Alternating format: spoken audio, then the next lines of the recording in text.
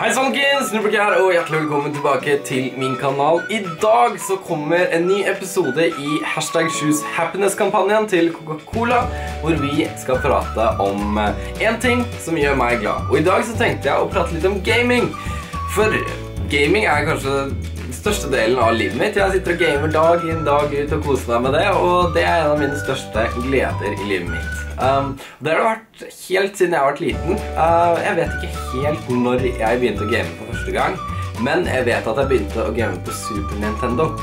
Og det gikk jo så klart i Mario, og spilte veldig veldig mye i Mario. Og så fikk jeg etter hvert eh, Nintendo 64, og det gikk jo stort sett i Mario da også. så Mario har liksom alltid vært hele barndommen min, og så kommer PlayStation 1. Og da husker jeg veldig godt at eh, jeg fikk lov til å spille Tekken 3, og jeg fikk lov til å spille Spyro.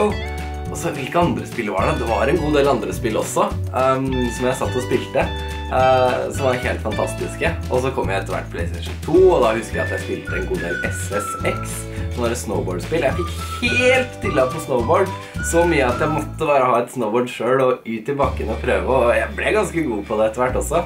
Men så slutta jeg, så nå er jeg ikke stått på snowboard på sånn type ti år. I hvert fall.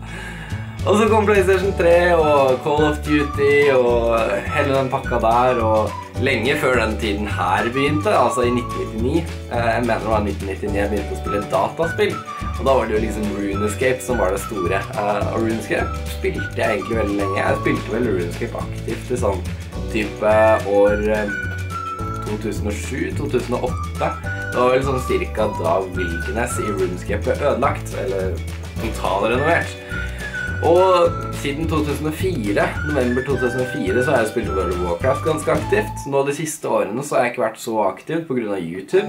Um, men jeg har jo spilt på veldig høyt nivå i World of Warcraft. Hvilke andre dataspill har jeg vært innom her? Jo, Anarchy Online. Anarchy Online har jeg spilt veldig mye. Det er faktisk et norskutvikla spill fra Funcom. Og ja, hvilke andre datamaskinspill? Altså, det er jo mange dataspill jeg har vært innom, men ikke sånn superkjente, da. Men uh, ja.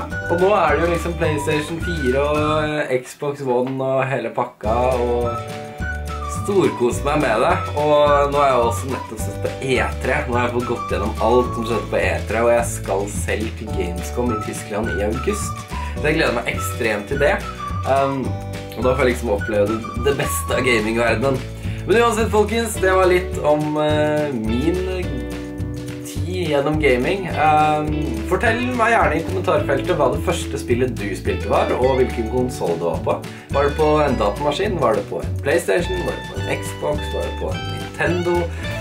Fortell nede i kommentarfeltet, og sett gjerne igjen en tommel opp. Abonner hvis du ikke har gjort det. Så ses vi igjen i morgen. Stay awesome!